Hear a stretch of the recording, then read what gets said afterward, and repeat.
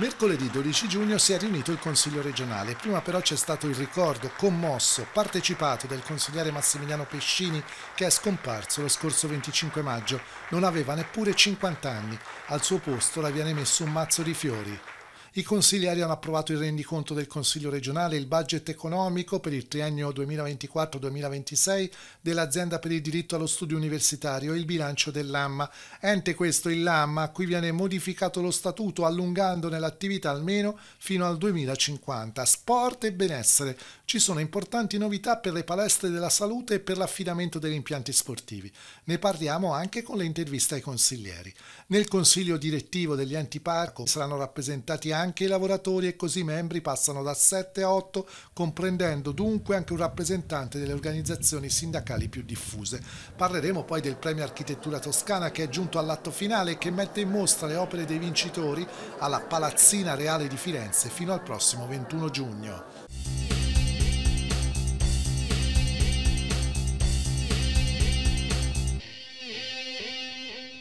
Si era ammalato da poco tempo Massimiliano Pescini, ex sindaco molto amato di San Casciano Val di Pesa, poi consigliere regionale, stimato da tutti. Ci ha lasciato alla fine di maggio, prima della seduta, lo ricordano i colleghi consiglieri. Al suo posto viene messo un mazzo di fiori dopo il minuto di silenzio. Parla il presidente dell'Assemblea regionale. Mi sarei aspettato tutto, ma mai di dover salutare un collega, un amico, una persona speciale uno di quei rappresentanti delle istituzioni di cui avremmo sempre più bisogno. Non è retorica e non è perché Massimiliano non è più con, eh, con noi. Eh, in questi anni ho imparato a apprezzare l'amore per la sua comunità, l'amore per la Toscana. Eh, suo, nel suo sorriso si legge la buona politica, la politica fatta di ascolto, la politica fatta di prossimità, eh, è un esempio per le ragazze e i ragazzi più giovani. La buona politica esiste e Massimiliano la incarnava. Non c'è distinzione politica o di appartenenza. Pescini lo stimavano e lo rispettavano tutti, lo comprendiamo bene anche noi da queste brevi interviste da alcuni suoi colleghi, intanto del gruppo politico. È stato un passaggio difficile, un consiglio carico di commozione, di carica emotiva eh, dove tutti hanno reso omaggio a Massimiliano Pescini come uomo, ancora prima che come collega, come compagno, come amico. Massimiliano eh, ci ha lasciato causa una malattia terribile in eh, soli 60 giorni e questa malattia si era manifestata proprio durante i lavori di un eh, consiglio il ricordo e il patrimonio che lui ci lascia è quello di una bella faccia della buona politica, della politica fatta con eh, generosità, della politica fatta al servizio della comunità. Beh, sicuramente il suo carattere che io ho apprezzato sempre tanto, l'ho descritto così, la sua calma, la sua riflessività, la sua gentilezza, la sua pacatezza sono doti che io nella politica apprezzo molto perché secondo me sono quelle che servono per mettersi in ascolto con le persone. Quindi il lavoro che lui ha fatto era mio vicino di banco, le lunghe chiacchierate e quindi il non fermarsi mai all'apparenza, alla superficialità, ma andare in profondità alle questioni è un qualcosa di cui la politica ha un grande bisogno oggi e cercherò di portarlo nel cuore. Bugetti nel frattempo è stata eletta sindaca di Prato, ma ha voluto essere lo stesso qui per onorare la memoria di Pescini, apprezzato, come dicevamo, anche dai consiglieri di altre forze politiche. Io con Massimiliano avevo un rapporto politico da due, tre anni, un rapporto personale di amicizia da dieci, quindi è ovvio che i miei ricordi stiano più fuori dall'aula che dentro. E la, la, la, stranezza di questo rapporto, ho raccontato un episodio che racconto volentieri anche a voi perché la, la dice lunga su quanto sia strana a volte la vita. Eh, io ero reduce, sono reduce da una campagna elettorale fatta in quattro regioni in giro per la Toscana, l'Umbria, le Marche e il Lazio per le elezioni europee. Eh, Massimiliano lo sapeva e a battuta mi ha detto quando vieni a San Casciano, quando passi da San Casciano dimmelo che vengo a darti noia. E alla fine la, la, la, tornata elettorale ha voluto che il giorno scelto per andare a San Casciano fosse proprio il giorno in cui Massimiliano è morto. E per me questo vuol dire, vuol dire qualcosa. È stata una commemorazione bella venuta dal cuore da parte di tutti. Io non lo conoscevo benissimo se non da, in questi tre anni e mezzo del Consiglio regionale e quindi diciamo quello che posso dire io è marginale, però vista la, la, l'afflato con cui tutti si sono espressi ho cercato di eh, posporre i miei sentimenti a una frase del Foscolo che è chi non lascia, eh, poca gioia nell'urna chi non lascia eredità di affetti e lui ne ha lasciati veramente tanti. Interviene poi il vicepresidente dell'Assemblea. Sì, Massimiliano era prima di tutto un amico, un politico, una persona intelligente che utilizzava la sua intelligenza a servizio degli altri, il senso dell'appartenenza al proprio partito, alla nostra comunità, a quella del Consiglio regionale della Toscana, un sindaco al quale il proprio territorio voleva bene eh, ed era una persona che ha lasciato un ricordo incredibile in tutto il Consiglio regionale e credo che sia stato un atto di dovere istituzionale eh, dover fermarsi, ricordarlo e soprattutto portare eh, alla memoria del nostro, della nostra regione una figura di un valore politico di altissimo livello. Dalla famiglia il ringraziamento della compagna Marina Nesi che affida il messaggio al presidente Mazzeo. La famiglia sta vivendo un dolore straziante e un vuoto insostenibile ma siamo commossi per le manifestazioni di affetto ricevute da tutti in questi giorni. La parola anche al sindaco di oggi di San Casciano Val di Pesa che è stato appena confermato alla guida del comune. Lui riprende una parte di un intervento dello stesso Pescini davanti ai volontari del suo comitato elettorale qualche tempo fa. Devo dire che rappresenta proprio quella che è la visione di Massimiliano della Toscana di una terra che eh, ha sempre a cuore eh, non solo quanto c'è da fare ma anche quanto è stato fatto, ricca di storia, di sacrifici ma anche consapevole che il futuro deve essere trovato lavorando e conoscendo gli altri.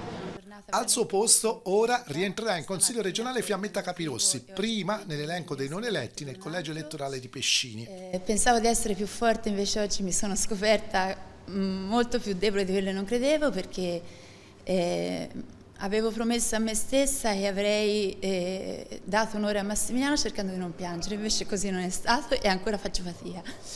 Eh, sono felicissima di poter eh, rendermi utile al mio territorio So che Massimiliano avrebbe detto Fiamma, vai e fai quello che sai fare. Quindi con questa spinta e con l'abbraccio dei familiari stamani che per me è un conforto incredibile, spero di poter essere utile per il mio territorio, per la regione e per il mio partito che mi ha sempre sostenuto e per cui ho sempre lottato.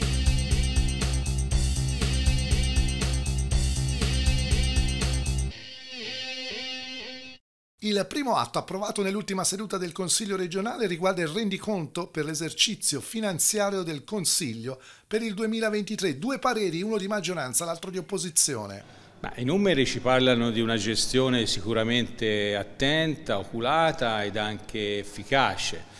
Ciò è dato dai, dagli aspetti insomma, di bilancio contabile in senso, in senso più stretto, però anche il fatto che il rendiconto insomma, consegni questa, eh, al Consiglio regionale in questo esercizio 1.700.000 euro di disponibilità da poter utilizzare in maniera libera sia per spesa di investimento che per spese correnti, ma una tanto ci segnalano appunto come l'attenzione alla spesa e ai costi sia stata un'attenzione che ha prodotto anche risultati eh, utili. Eh, ci sono continui avanzi liberi, ormai da parecchi anni, che a nostro avviso testimoniano una scarsa programmazione e probabilmente anche eccessive risorse a disposizione del Consiglio.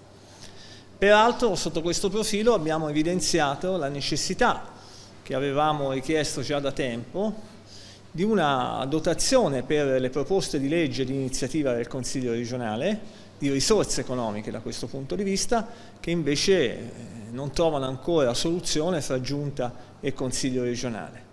Alla luce di questo e alla luce anche di una difficoltà di programmazione di, di, di molti settori che non riescono nemmeno a spendere le risorse, abbiamo eh, confermato un segnale negativo che avevamo già dato e abbiamo votato contrario. Poi i consiglieri hanno esaminato e votato due provvedimenti che riguardano il binomio sport e benessere. Il primo riguarda le cosiddette palestre della salute. Sono, come si legge in un articolo della nuova legge, strutture di natura non sanitaria pubblico private definite da un decreto legislativo del 2021 in cui si possono svolgere i programmi di esercizio fisico strutturato sotto il controllo delle figure professionali previste dallo stesso decreto. La Regione stabilisce i requisiti requisiti per l'idoneità per chi presenta patologie o fattori di rischio sanitario e che naturalmente deve essere seguito da professionisti. Al voto però l'Aula si divide. Spetterà adesso alla Giunta regionale definire criteri, metodologie, personale da assegnare in quelle palestre dove ci sarà un riconoscimento oggettivo, sarà una novità importante perché diventeranno luoghi di sport e luoghi di salute. Non è un'iniziativa di carattere sanitario, ma la salute in questo caso si produce mediante lo sport che sviluppa prevenzione.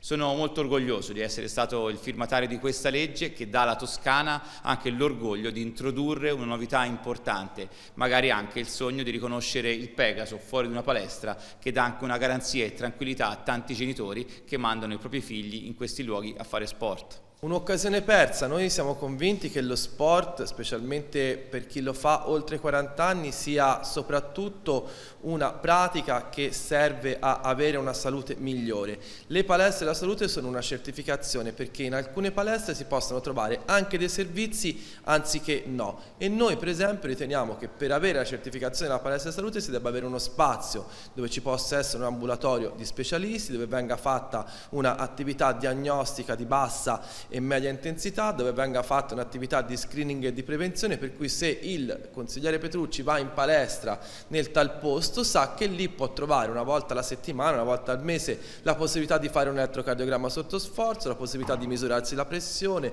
la possibilità di avere una visita specialistica. È unanime invece la votazione sulle nuove regole per l'affidamento degli impianti sportivi. Si stabilisce cioè che avvenga in via preferenziale a società e associazioni sportive dilettantistiche, enti di promozione sportiva, discipline sportive associate, federazioni sportive nazionali e anche a raggruppamenti temporanei. Tra tutti questi soggetti, storicità, numero dei tesserati, partecipazione dei giovani, qualificazione del personale, programmi di cura e manutenzione delle strutture con attenzione al superamento delle barriere architettoniche sono questi alcuni dei criteri fissati dopo un confronto che è stato partecipato e condiviso. È stato un lavoro che ha portato un risultato significativo unanimità, eh, segno che, che, il lavoro fatto è andato nella direzione di eh, mettere i comuni, gli enti locali nelle condizioni eh, di lavorare meglio. Lavorando sui criteri, inserendo criteri nuovi o rimodellando criteri esistenti nella versione precedente della legge, a partire dalla storicità sul territorio, sull'impianto, eh, la valorizzazione dei settori giovanili, degli staff, si punta a, a valorizzare eh, quelle realtà che fanno, che fanno una gestione attenta alle esigenze delle ragazze e dei ragazzi e a favorire i comuni ad avere quegli strumenti necessari per governare questo pezzo del loro territorio. Noi pensiamo che sugli impianti sportivi vada, fare, vada, fatto un lavoro differente. Noi in Toscana abbiamo pochi impianti sportivi, quei pochi sono tenuti male, a volte malissimo, non, stato, non è mai stata fatta una programmazione, nemmeno un'attività comprensoriale, per cui nei comuni più piccoli, a due chilometri di distanza uno dall'altro, troviamo eh, gli stessi impianti ripetuti, entrambi fatiscenti, anziché invece trovarne uno solo tenuto bene. Noi pensiamo che lo sport per i più giovani sia il migliore antidoto verso le devianze, tendenze verso le cattive pratiche, per poter fare sport ci vogliono impianti sportivi, ce ne sono pochi, tenuti male e fino ad oggi non sappiamo nemmeno bene come siano stati dati in concessione, tra l'altro sempre ai soliti. Pensiamo che ci sia un grande tema, che sia quello degli stadi delle grandi città, delle città capoluoghi, che sono utilizzati una volta ogni due settimane, noi pensiamo che si possano utilizzare anche per le squadre minori, Cosa ha deciso poi il Consiglio? Intanto ha dato l'ok a maggioranza al parere sul bilancio di previsione dell'azienda per il diritto allo studio universitario. Nel documento approvato dalla Commissione Istruzione e Cultura si raccomandava di mantenere alta l'attenzione alle tariffe per le mensa e di valutare gli interventi di investimento programmati facendo subito, comunque al più presto, quelli necessari. Sì anche al bilancio dell'AMMA per cui c'è pure un'altra novità, cambia infatti il suo statuto in due punti. Nel primo si proroga l'esistenza del consorzio fino al 2050, la scadenza era fissata al 2027, 20 anni dopo la sua istituzione. Nel secondo si prevede la possibilità di un aumento del contributo economico della regione per le nuove esigenze che sono maturate. Parliamo anche dei parchi regionali perché nel consiglio direttivo il numero dei membri passerà da 7 a 8. Entrerà infatti un rappresentante delle organizzazioni sindacali maggiormente diffuse sul territorio. Insomma, i lavoratori avranno più voce nell'organo di amministrazione. A proposito di parchi, con una modifica allo statuto, il consiglio prova anche a sbloccare la nomina del direttore del Parco delle Apuane.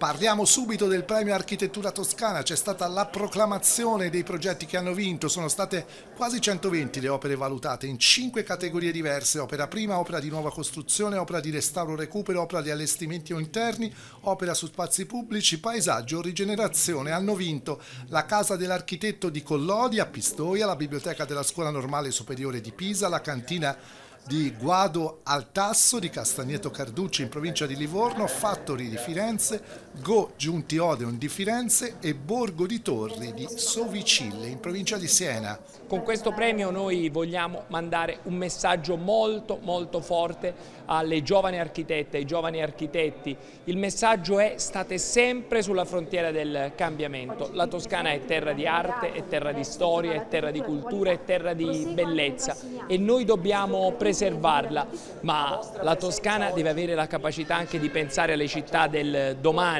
a come tenere insieme la nostra storia e l'innovazione. E questa è la sfida che abbiamo di fronte ed è questa la ragione per cui continuiamo a finanziare il premio Architettura. Dopo la cerimonia di premiazione alla Palazzina Reale di Piazza Stazione, che è la sede, lo ricordiamo, di Ordine e Fondazione Architetti Firenze, è stata inaugurata anche la mostra dei progetti vincitori.